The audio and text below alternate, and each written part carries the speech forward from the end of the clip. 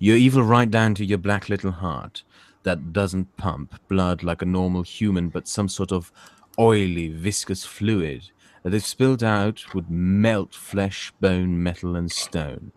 You are evil.